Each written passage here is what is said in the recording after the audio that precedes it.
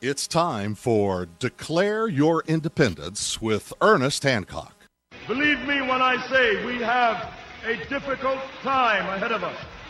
But if we are to be prepared for it, we must first shed our fear of it. I stand here without fear because I remember. I remember that I am here not because of the path that lies before me, but because of the path that lies behind me. I remember that for 100 years we have fought these machines. And after a century of war, I remember that which matters most. We are still here!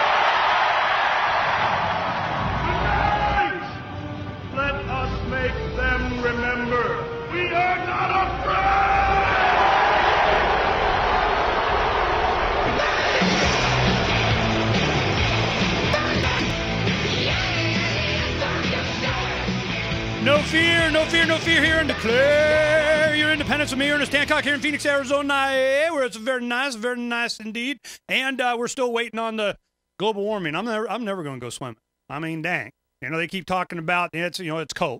Well, what we're going to do today is we're going to go ahead and get a on the ground view of what happened in Tucson when the Oath Keepers and various individuals and activists from here in Phoenix went down to Tucson, meet up with the activists down there, and uh, express their opinion about this police state kicking in kind of thing. And I, I, I really want to uh, bring this up. Even if, which he wasn't, he didn't have any drugs there and so on, but uh, that didn't stop him from riddling them with bullets. But I'm, I, so you know, voluntary transactions with, and I want, and here's your marijuana, and I'm just, this drug war thing's got to go away.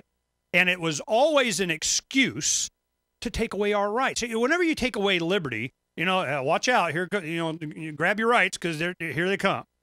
What we've done is I want to share with some of the uh, new listeners. You know, one thing I got to tell you what's going on. Let's give a shout out to News Talk AM 1590 WVNA.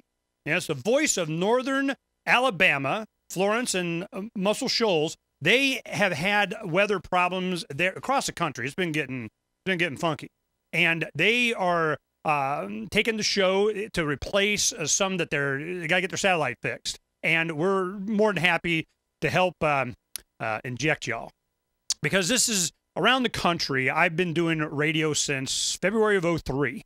And we were popular morning talk show here in Phoenix, Arizona for a long time. And we developed Freedoms Phoenix, Freedoms with an S, freedomsphoenix.com, and incorporated our radio show into the internet. Now, of course, we have some affiliates around the country, but the main thing was I was realizing as we, as you know, libertarian geeks, man, we're all about the computer. What we found out was is that the MP3 before anybody even heard of MP3, MP what? What the heck's that? We were able to archive the shows on our own site.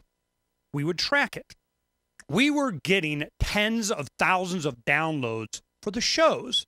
I go, you know, they the local market, they would kill for that many people in their ratings for the local show here. Morning drive. You know, get you know, we break for traffic. Yeah, get the tax slaves to work. I mean, we were having fun. But I was the first, you know, certainly in a major media market, libertarian on the air. And this is it was freaking a lot of people out. They were like, wow, man, how'd that happen? Well, it uh, it's a long story, but bottom line was there was an opening, we filled it, and it got popular. But I understood the future to be the internet. People had the access to this kind of information on the internet, to be it in print, websites, video, YouTube, and MP3. This is iTunes. We're on there. You can subscribe. You get it's just RSS feeds, all kinds of ways to get access to this content. Now, a lot of people, and and we're talking to a lot of the new affiliates that we have going on in, in Oregon, Alabama, New Hampshire, and a bunch of others. You know, Tennessee, I see Kentucky. There's a Florida. You know, there's a lot of people, and little pirate radio and so on. This is the future. What happens when you get access to something other than content that is bullet pointed from some central command somewhere? You know, I give you last night. I was watching the Daily Show, uh, Jon Stewart, and he was going on about Sarah Palin's bus tour. Well, it's it's really, it's really interesting how this is working. She is a paid employee of Fox News. And and she's running this PAC that's going kind of what, you know, they're doing the best they can to try and, you know, drum up some support for her and whatever the messages that they have and and we from the Lovolution were very much involved in the Tea Party well, not necessarily the party or the movement. It kind of jumped on the bandwagon. We were raising uh, tens of millions of dollars for Dr. Paul from just the real grassroots, none of this AstroTurf stuff. It is Generation Next. Generation Next are these young people and the ones that are in, you know, heck, elementary school, junior high, high school. They're the ones a lot of times brought their parents into this movement because you can't lie to kids. I got four, man. I, I got two grandkids. Let me tell you what happens. Um, you can't lie to them. And now that they got a smartphone sitting there in class, and a mandatory youth indoctrination teacher goes up and says, uh, blah, blah, blah, and they're, before they even finish the sentence, they're going to their smartphone going, you know, um, uh, some uh, peer review checking, kind of asking around forum uh, website, kind of, you know, fibber. You're not telling us the truth. Uncovering the secrets, exposing the lies. And how do you determine when you're being lied to? What what is it that we and it's why we call the show "Declare Your Independence" with Ernest Hancock, because the Declaration of Independence is very simple. It says, you know, uh, the whole purpose of government is to protect individual rights. When it becomes destructive of that, it's time to alter or abolish. FYI, you know, oh, we, we don't care what kind of government. He didn't talk about democracy or even the republic or constitution or any of that stuff. It was just, hey, man, whatever you got, you know, do it locally. And here came the Articles of Confederation, but they didn't give them enough central authority. So here comes the Hamiltonians. Now, anybody, Hologram of Liberty by Boston T. Party. If you guys want to get a dose of what really happened, uh, that's a good one. Anti Federalist Papers. It was all the warnings. You know, Patrick Henry, four hours. He's talking to the legislature in Virginia as governor. And he's going, man, I smell a rat. He goes, no, no, no, no, no, no, no, no, no. This is, it's all about the power, the power, the power, the power. Eminent domain, the power of tax, the power to regulate commerce. Heck, if I was king, what else would I want? You know, this is, you, seriously? Eh, eh, what else do you need? Well, anti federalists said, look, man, we know what's coming. You know, we, didn't we just have a revolution for this? No wonder they had to have it in secret. So they needed ratification. Virginia, a very important state. Patrick Henry goes, no, no, no, no, no, no. I see where this is going. Four hours. Don't do it. So what came of that? What was the compromise? Right off the bat. You know, they, they, they had to keep another revolution for starting. From starting. You know, you had Thomas Paine, common sense. He was against this thing. Jefferson's in France. You know, you got Patrick Henry. What'd they do? All right, all right, all right. A bunch of naysayers, a bunch of damn libertarians of the day. What are we going to do? We're going to do the 10 thou shalt not nots of uh, government, the Bill of Rights. We'll, we'll go ahead and add that. Here it is. Okay.